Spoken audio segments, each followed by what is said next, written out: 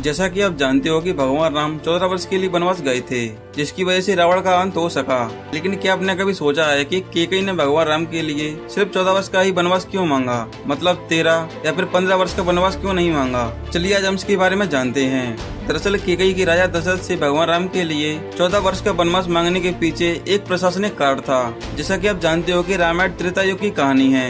उस समय एक प्रशासनिक नियम हुआ करता था कि अगर कोई राजा अपने सिंहासन को चौदह वर्ष के लिए छोड़ देता है तो उसके पास राजा बनने का अधिकार नहीं रहता। और केकई ने राजा दशरथ से भगवान राम के लिए चौदह वर्ष का वनवास बहुत ही सोच समझ कर मांगा था कि जब राम वापस लौट कर आएँगे तो उनके पास राजा बनने का अधिकार नहीं रहेगा और भरत राजा बन जाएगा। इसलिए केकई ने भगवान राम लिए चौदह वर्ष का वनवास मांगा था, लेकिन भरत ने ऐसा नहीं होने दिया।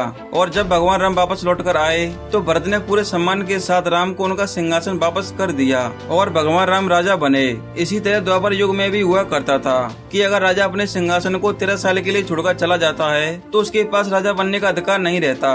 इसीलिए दुर्योधन ने पांडवों के लिए बारह वर्ष का वनवास और एक वर्ष के अज्ञातवास की बात रखी थी। अगर आपको वीडियो पसंद आया हो तो वीडियो को लाइक और चैनल को सब्सक्राइब ज़रूर करना।